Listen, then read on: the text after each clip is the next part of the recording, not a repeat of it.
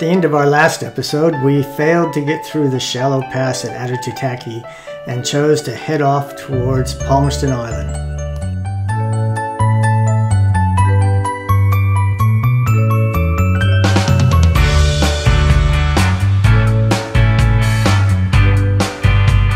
We had a lovely sail that lasted about one and a half days and got us to arrive just after sunrise.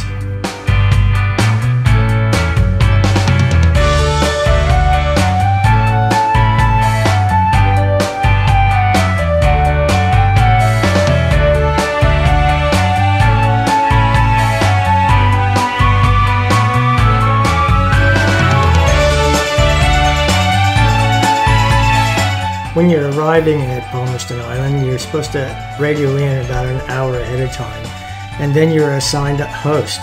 Ed Marsters was our assigned host, and he came out to help us pick up our mooring, which is just outside the reef.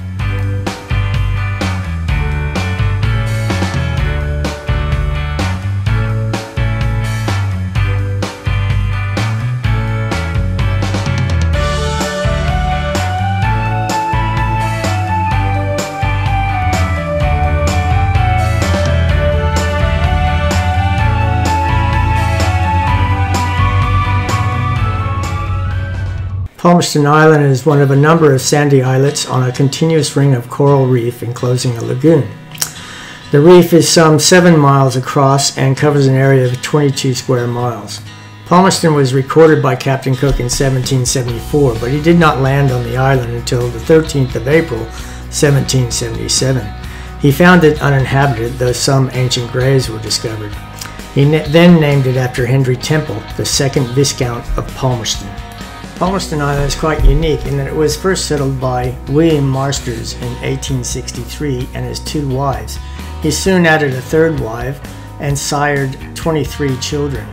So now, with a, a population of around 60, and with the exclusion of the school teacher and the nurse, everyone on the island is a descendant of William Marsters. He split the island up into three sections, one for each wife, which is now headed up by Bob, Arthur, and Ed Marsters, and Ed is the official policeman. This is Ed's place. This is Simon. Say hello, Simon. Hello, Mike. nice day. Nice day. Before we landed, most of the inhabitants went off to Rarotonga for the Hiva, so there was only about 10 people while we were there.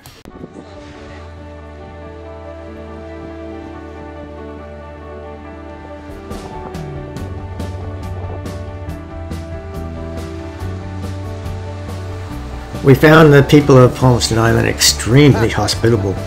For the next three days, our routine would be that Ed would come out in his skiff and pick us up at around 9 o'clock and take us through the very winding, treacherous pass through the reef. And we'd walk around, snorkel in the lagoon, and they'd always cooked us a hot uh, lunch. And every time we walked by one of the other families, it was always, hey, come over have a cup of tea and some cakes and let's have a chat.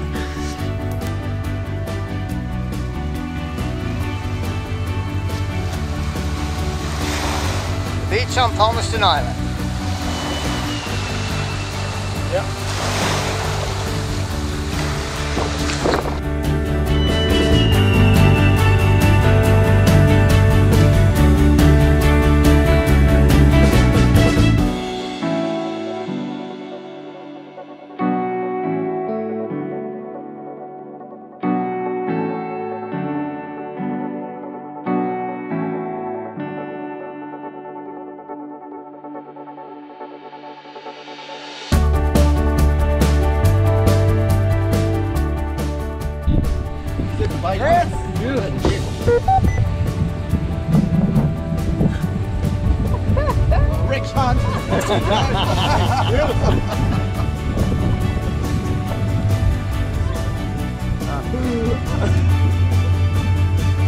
Then at the end of the day, Ed would take us back to the boat.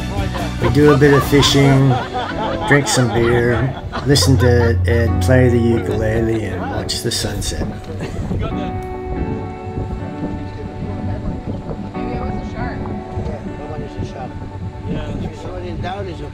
It, one side? Sideways. Well, you got the, got the, the whole thing. got the whole thing.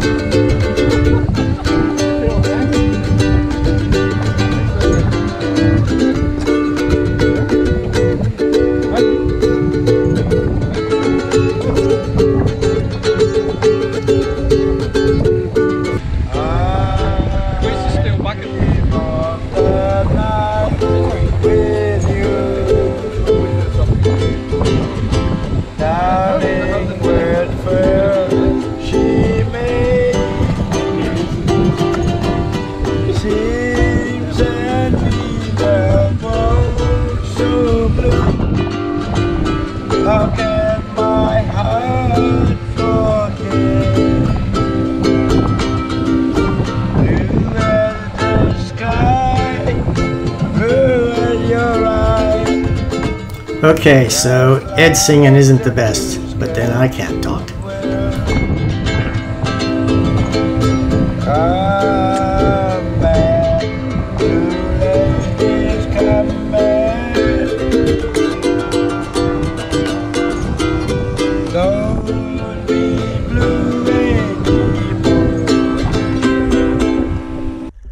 2 a.m. in the car playing our favorite song. Up, windows down, we sing along. Snorkeling in the lagoon was always fun and full of life. The summer night has just begun. The moon is bright, let's have some fun. Oh, this is everything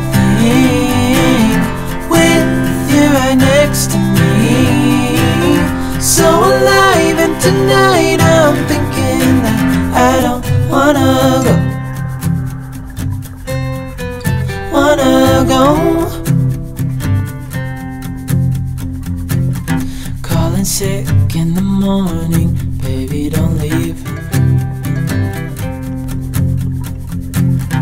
They don't need to know we're out here. There was two other boats at Palmerston whilst we were there, and we made some really good friendships. There was David and Chiz from SV Platina and Travis and Marta from SV Marion. We later caught up with them in Tonga and again in New Caledonia. Then I had the honor of helping load SV Platina onto a ship to transport back to the States from Australia. On the 23rd of July, we dropped our mooring and set sail for Beveridge Reef.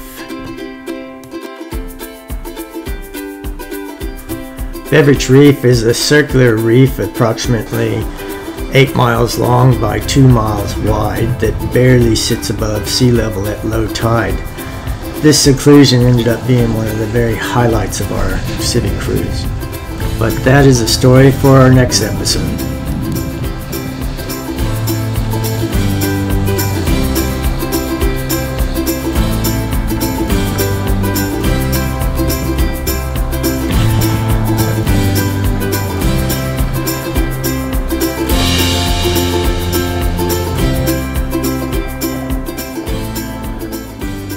The next day, the wind dropped and we needed to motor sail.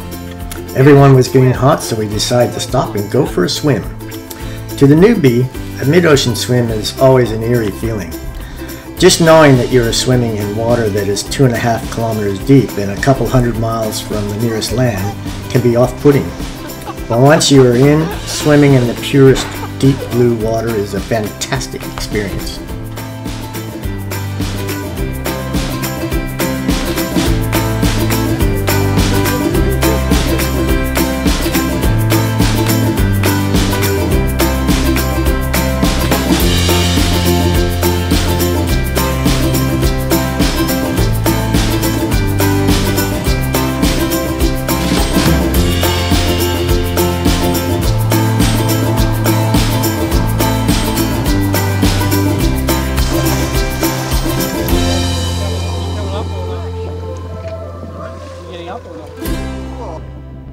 In the very early hours of the next day, the wind shifted to the southeast and picked up, and we were screaming towards Beveridge Reef on a close reach.